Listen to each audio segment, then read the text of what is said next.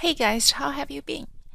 Now let's open file 6, flow along surface Mobius, and click here. Select objects flow on the surface. This is object.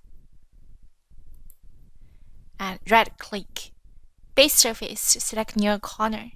I will select near this corner. And select the lower side of this same, okay? Click here. Then we will get this shape. The skin is wrapped outside, okay? And drag it to here. Let's try it one more time. Right click, select object. Right click, base surface, select near corner. This time I'm going to select this corner and the same target surface here.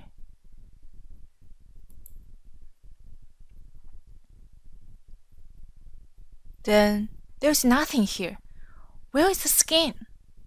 Let's switch to ghosted mode. See, it's inside, right?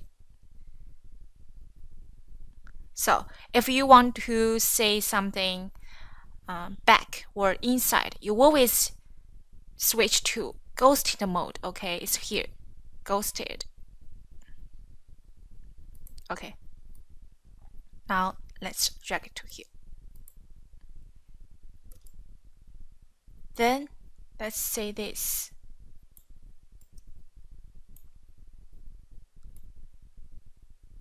So as you can see, there is a rectangular and it uh, transformed to a sphere gradually.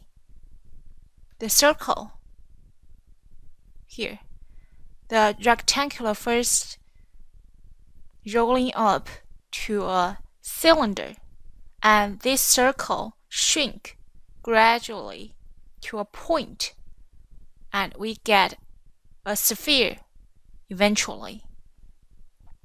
So I will demonstrate in an opposite way how the sphere become to a rectangular, okay? Now let's turn points on. It's here. And maximize.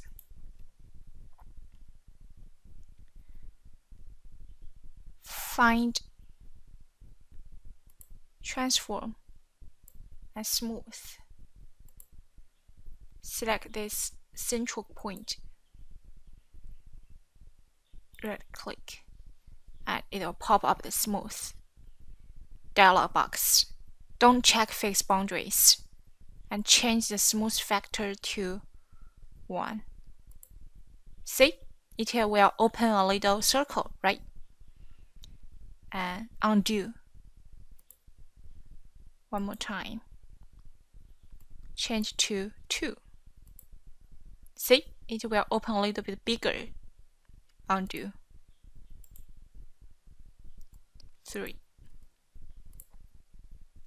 Okay, it's regular size, right? It's like cylinder size. And how about 5?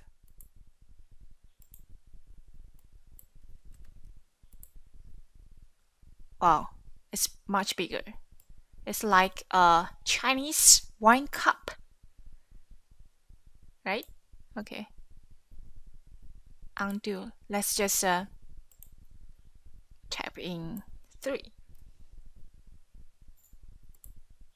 Okay. And same in the bottom. 3. So, yeah, we can get a cylinder.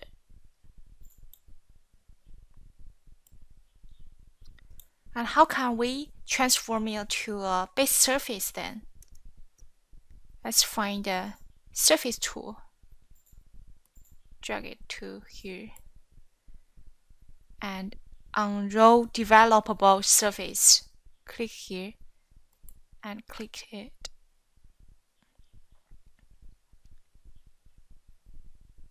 Select it. Then we can get this base surface, right? This is base surface, as you can see. this is the base surface.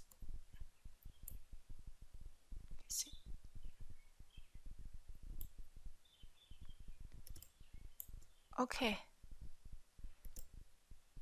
That's it. Thank you.